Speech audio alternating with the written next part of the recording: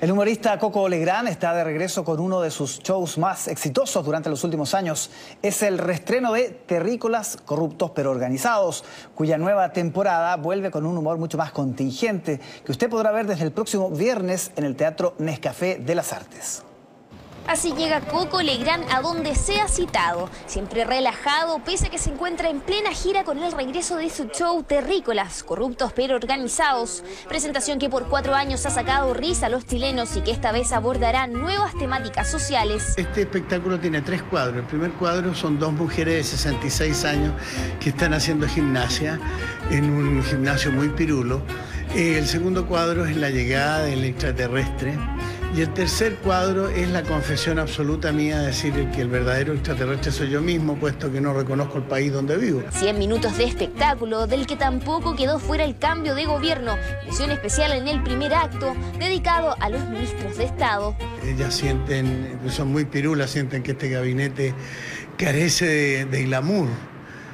Eh, apellidos comunes como Muñoz, Gómez, Peña y Lillo. Deben ser dos personajes chicos, dice una de las viejas. Y la otra le dice, nada, mira, nada que ver, el, gabinete pasado era otra cosa, porque Solminiaque, Rasuri, Undurraga, Larraín.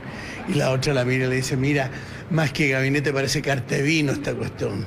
Entonces hay, hay eh, bromas que van para lado y lado y funciona muy bien, la gente eh, engancha muy bien con estas dos estas dos señoras que hacen recuerdo no solamente de lo que fue el gobierno pasado, sino que también a lo que se enfrentan hoy. Un fresco regreso para este humorista que se inspira en los chilenos y por supuesto en su propia vida. De hecho, ya se encuentra trabajando en un futuro show con el que podría despedirse de los escenarios. Es un personaje, es un humorista que se hace llamar el Chaplín Cojo.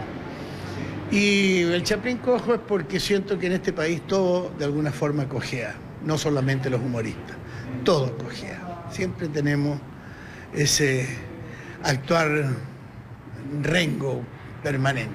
Un show de alta tecnología y pantallas que complementan su repertorio.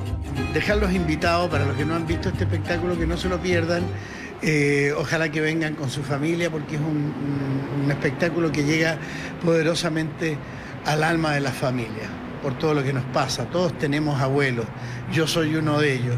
Y también cuento mi realidad, mis cambios, lo, cómo me he sentido con estos cambios al verme ya en una etapa de mi vida eh, final.